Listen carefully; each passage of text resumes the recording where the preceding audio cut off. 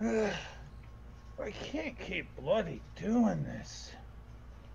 Earl, amigo, we have a good thing going. My guys get wins, you get paid. All is well in the world. If you were done being my friend, I don't think my heart could take it. You don't want to break my heart, do you? Because if you do, I might lash out with furious anger.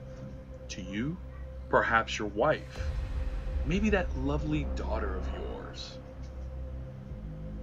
No! Not my daughter! Eh, fine. I'll bloody do it. And now for half the fee for making my heart flutter like that. Half the fee? This is barely more than Vince pays me already. This isn't a negotiation, Earl. I don't negotiate. We're done. What? What?